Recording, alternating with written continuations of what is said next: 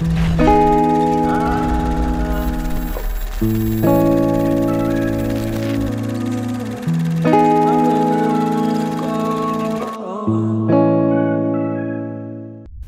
nila, ang pinaka-memorable daw ng isang marino ay yung unang sampa. At isa na ako doon sa pinakamaswerte and na-bless dahil ilang taon kong iniantay to. At ito na, ito na talaga, natupad na rin. Dream come true ang batang to. Ito, ang unang sampa ko sa barko na nagbibiyahe ng international. Sa ngayon, nandito muna kami sa isang hotel dito sa Makati. Dahil tatapusin muna namin yung health protocols na 14 days quarantine. Dahil pandemic kasi. And siguro pag napanood niyo na ito marahil nasa barko na ako. First time kong pipila sa overseas Filipino worker at yun ito first time kong bibiyahe ng international flight legit na talagang OFW ang aming destinasyon ay sa Malaysia. Doon kasi nakadaong yung barkong pagtatrabahuan namin. And we arrived safely here in Malaysia. First time kong may sumundo sa amin na isang agent.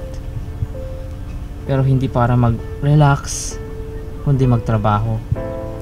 At ito, ang araw ng aking pinakahihintay at dito sa Malaysia, kailangan din pala namin sumunod ng health protocols na nila dito dahil pandemic. Kailangan din namin ulit mag-quarantine ng 14 days. At sa wakas, makapagpapahinga rin. Welcome to my room. Alam nyo ba katabi lang nitong building night na to ang famous na Petronas Tower?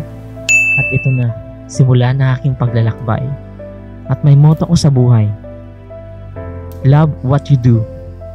Do what you love. And love what makes you happy.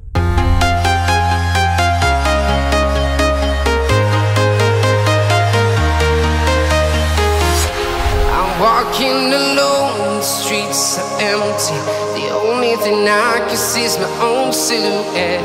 I'm getting stronger, step by step. The clock is ticking, but there's no time for regrets. I've been flying from town to town, from London to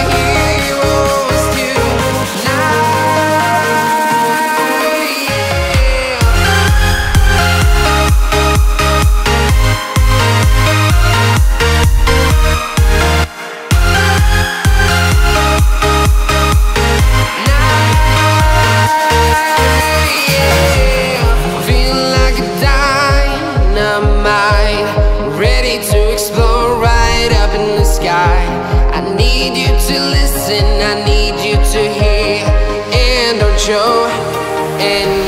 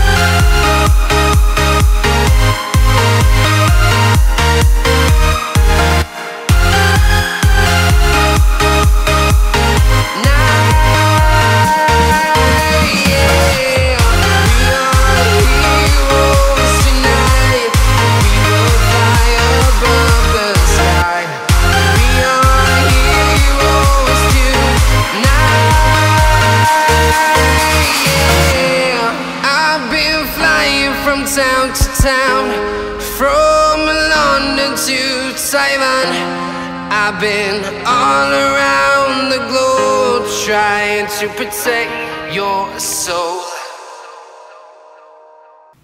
Ikaw, anong kwento mo sa unang sampa ng isang marino?